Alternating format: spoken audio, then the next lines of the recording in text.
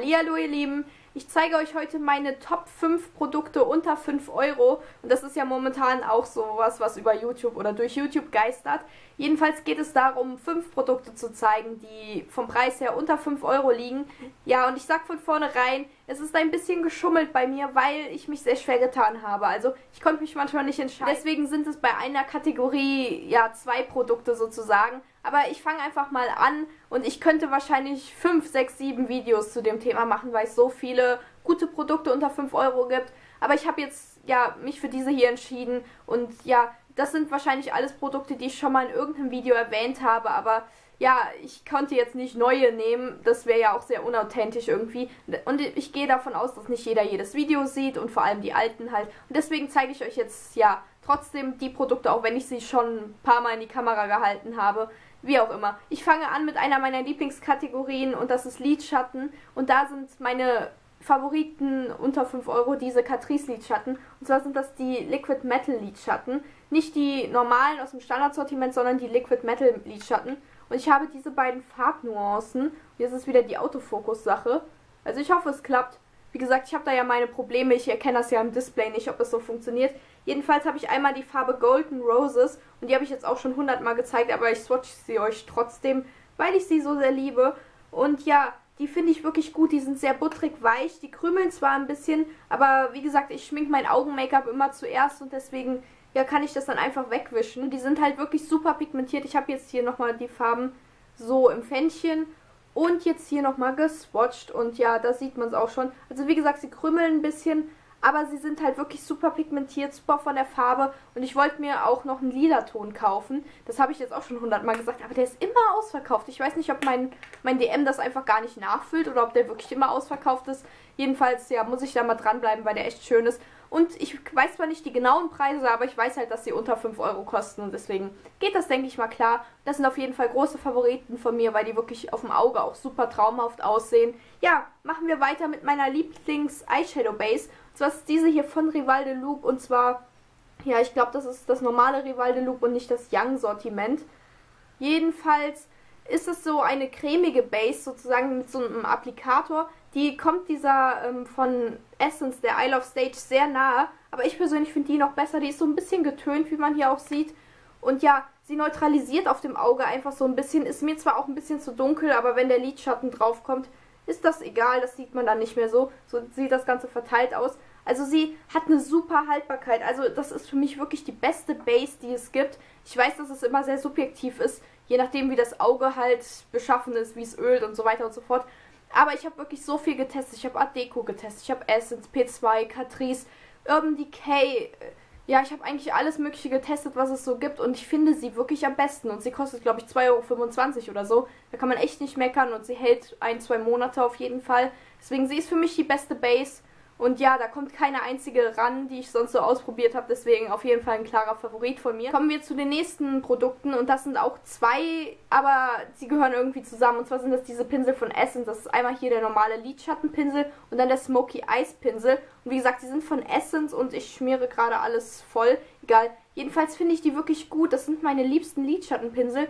Der hier, der Lidschattenpinsel, also der normale, der kann ein bisschen kratzen. Also da gibt es wohl solche, die kratzen und welche, die nicht kratzen. Ich habe jetzt das Glück, dass ich habe, wie viel habe ich von denen? Fünf Stück. Vier davon kratzen nicht, einer kratzt.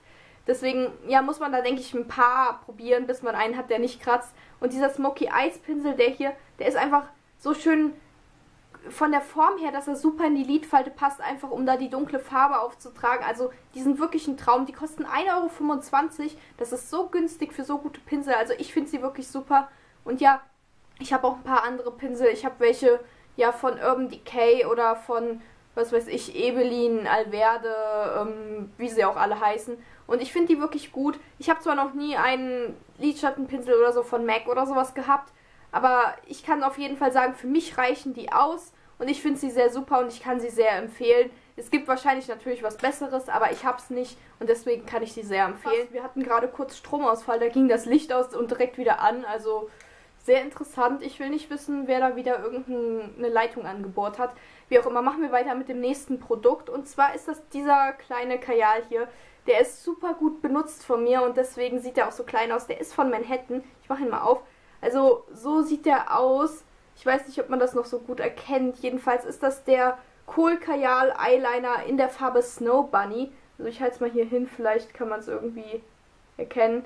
Jedenfalls ist das ein weißer Kajal für die Wasserlinie. Also ich benutze ihn für die Wasserlinie und ich finde ihn wirklich sensationell. Ich habe das Problem, dass ich sehr äh, tränende Augen habe. Das heißt, wenn ich was auf der Wasserlinie auftrage, ist es nach ein paar Sekunden weg und der hält wirklich ein bisschen länger bei mir. Er hält zwar nicht den ganzen Tag, aber er hält wirklich gut und das ist halt wirklich ein schönes cremiges Weiß. Er gibt gut Farbe ab und ja, wie gesagt, er hält gut. Und ich habe einen von Manhattan in Wasserfest und der gibt erstens bei mir keine Farbe ab und zweitens, ja, hält der auch nicht wirklich so gut. Also der hält viel besser als der Wasserfeste. Ich habe auch welche von P2, Catrice und so weiter gehabt, aber keiner war so gut wie der hier. Deswegen kann ich den sehr empfehlen. Wenn ihr was Gutes, Weißes für die Wasserlinie sucht, ist das auf jeden Fall ein Top-Produkt. Der ist nicht teuer und den habe ich jetzt auch bestimmt drei, vier Monate benutzt und ich habe noch nie einen Kajal leer bekommen. Und das wird, glaube ich, mein erster sein, den ich wirklich leer bekomme. Den werde ich mir, denke ich, auch nachkaufen, wenn es ihn noch gibt. Ich hoffe es sehr. Wenn nicht, ignoriert das. Naja, machen wir weiter mit der letzten Kategorie und das ist Blush. Und ich bin ja so ein totaler Blush-Fan, Freak, wie auch immer.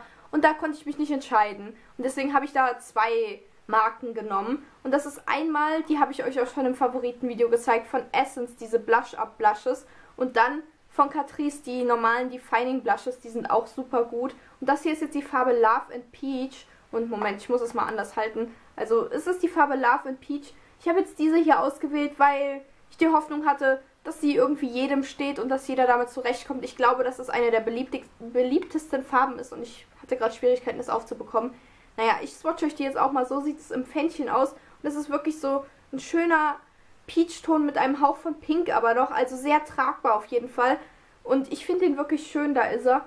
Und ja, er sieht einfach traumhaft aus und er lässt sich gut verteilen. Er ist einer der einfacheren von Catrice, also in der Handhabung. Und ja, deswegen, die sind wirklich super. Da gibt es auch viele verschiedene Farben von. Ich habe auch einige, aber ich wollte jetzt mich nur auf einen beschränken. Ja, dann habe ich noch die Blush Up Blushes von Essence. Und zwar einmal in der Farbe, ähm, ja, Moment, wie heißt das? Pinky Flow. Und ja, das andere ist die Farbe Heat Wave. Und das ist halt einmal ein Pinkton und einmal, ja, eine Art Orange, Koralle, Peach, wie auch immer Ton. Und das sind, Moment, ich habe mal wieder Schwierigkeiten, die Dinge aufzubekommen. Also es sind so Verlauf-Blushes. Das heißt, die haben einen Farbverlauf, erkennt man jetzt hier auch, denke ich mal.